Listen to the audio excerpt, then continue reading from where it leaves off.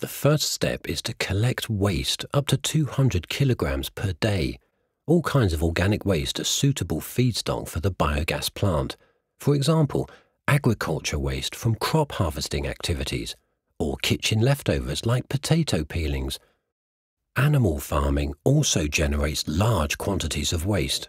Cattle manure, for example, pig slurry, poultry litter. The only exception is woody biomass. You can't put this in the digester. Solid waste can be collected manually. But if you're using liquid slurries, they can be piped into the digester automatically using just gravity. Use waste as fresh as possible and keep the pieces small. Anything up to 2 to 3 centimeters is fine.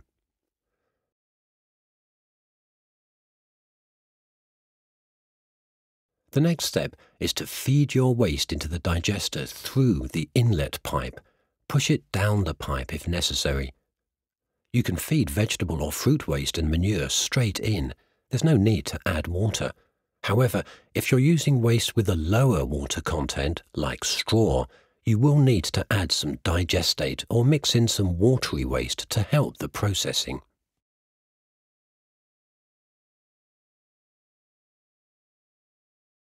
The HoMethan plant has a special stirrer to create a smooth, homogeneous mix that is easier for the plant to digest. A homogeneous mix with even temperature distribution helps the anaerobic digestion process. You should stir the system every day, a few minutes after feeding. If you're using waste that contains a lot of dry matter, it's a good idea to stir twice daily. And remember, any time you pass by, give the digester mix a stir the microorganisms will be happy. It's best to stir your system manually.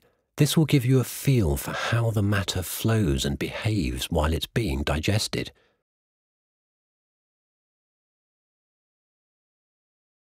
At the heart of your biogas plant is the biodigester, which works by a natural process called anaerobic digestion.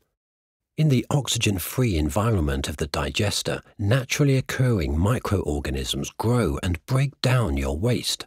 As the organic matter decomposes, it releases biogas. This rises to the top of the digester. Because it's a closed system, no odour can escape. Biogas is a clean fuel consisting mainly of methane, Methane has a good energy content or calorific value, making it a highly versatile energy source.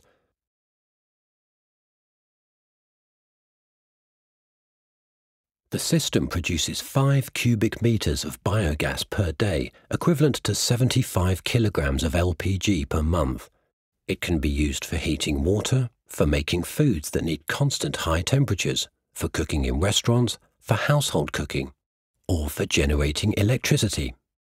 Biogas is produced 24 hours per day. For practical reasons, it's best used on a regular daily basis, but you can always store a couple of days' worth of gas output in external bags if consumption is lower than usual, or to offset higher demand on peak consumption days.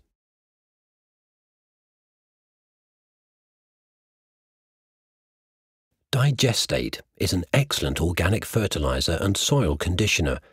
It contains the essential nutrients and micronutrients for farming and provides crops with readily available nitrogen. The digestate flows out of the digester automatically through the outlet pipe when you feed the system with waste. It looks very much like a liquid slurry and is odorless. You can use it fresh as it flows out, or you can keep it in a storage tank until you're ready to use it. You can either spread the digestate as it is, or separate it into liquids and solids, depending on what works better for your spreading practices. All you need is a sieve net or bag to filter the digestate. The liquid part can be used as nutrient-rich irrigation water. You can use the solid part to enrich soil. The entire cycle is a closed loop, from soil to crop to product to waste and back to the soil.